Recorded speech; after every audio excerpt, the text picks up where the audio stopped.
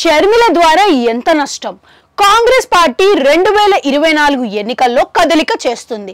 రెండు వేల పద్నాలుగులో చచ్చుబడిపోయిన కాంగ్రెస్ రెండు వేల పంతొమ్మిది నాటికి పోటీ చేయడానికి మళ్ళీ ఉత్సాహం తెచ్చుకుంది. ఈసారి అయితే పోటీ కాదు అసెంబ్లీకి మేము వెళ్తామని కూడా ధీమాగా చెబుతుంది.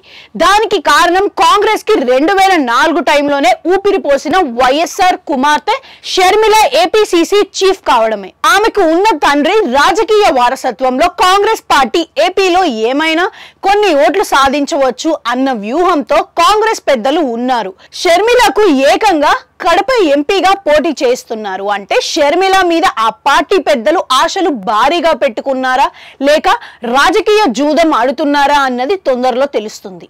అయితే ఒక్క మాట మాత్రం ఉంది. కాంగ్రెస్కి ఈ ఎన్నికల్లో ఎంతో కొంత ఊపు అయితే రావచ్చు అని అలాగే ఎన్నో కొన్ని ఓట్లు కూడా లభించవచ్చు మరి కాంగ్రెస్కి పెరిగే ఆ ఓట్లు ఎక్కడ నుంచి వస్తాయి? కాంగ్రెస్కి వెళ్ళే ఆ ఓట్లు ఏ పార్టీకి నష్టం పరుస్తాయి? అన్నది ఇప్పుడు రాజకీయ వర్గాల్లో చర్చంగా ఉంది. ఇక కడప అన్నది వైఎస్ఆర్ ఫ్యామిలీకి కంచుకోట. అక్కడ పార్టీల కన్నా వైఎస్ఆర్ కుటుంబమే ఉంటుంది. ఆ కుటుంబాన్ని చూస్తే ఓటు వేస్తారు. అలా చూసుకుంటే కనుక కడప ఎంపీగా షర్మిల పోటీ చేయడం వల్ల ఎంత నష్టం ఏ పార్టీకి అన్నది కడప జిల్లా వ్యాప్తంగా చర్చ సాగుతుంది. ఇక వైసీపీని విమర్శించే ప్రతి మాటను సోషల్ మీడియా ద్వారా టీడీపీ వారు ప్రచారం చేస్తున్నారు.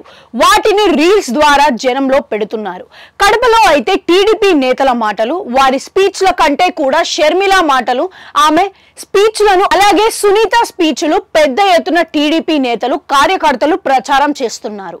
ఒక విధంగా సొంత పార్టీ కంటే కూడా షర్మిలాకే ఎక్కువ ప్రచారం తీసుకొని వస్తున్నారు. మరోవైపు అధికార వైసీపీ నుంచి కడప ఎంపీగా పోటీ చేస్తున్న అవినాష్ రెడ్డి టీడీపీ కంటే కూడా షర్మిలానే ఎక్కువగా టార్గెట్ చేస్తున్నారు. అలాగే సునీత మీద కూడా ఆయన విమర్శలు చేస్తున్నారు. ఇప్పటిదాకా అయితే కడప జిల్లాలో కాంగ్రెస్కి వన్ పర్సెంట్ ఓట్లు కూడా లేవు అని అంటున్నారు. కానీ ఈసారి చూస్తే కనుక అవి ఏకంగా ఆరేడు పర్సెంట్గా పెరిగే అవకాశాలు ఉన్నాయని కూడా చర్చ సాగుతుంది.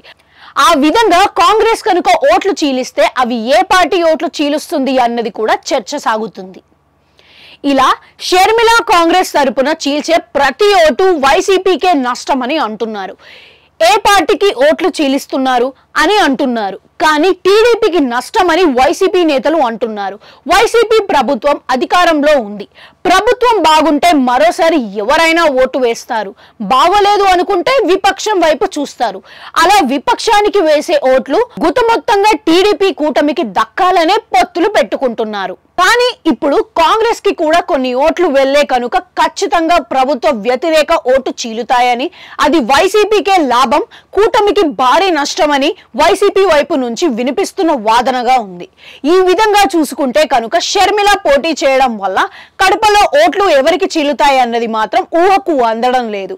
ఇక్కడ చూడాల్సింది కేవలం నేతలను వారి లెగసీని కాదు పోల్ మేనేజ్మెంట్ని కాంగ్రెస్కి పోల్ మేనేజ్మెంట్ అన్నది లేదు. కడప లాంటి చోట్ల టీడీపీకే పోల్ మేనేజ్మెంట్ ఇబ్బంది అవుతుంది. అక్కడ వైసీపీ మొత్తంగా మహరిస్తుంది అని అంటున్నారు. పైగా అధికారంలో ఉన్న పార్టీ దాంతో జగన్ సొంత జిల్లా.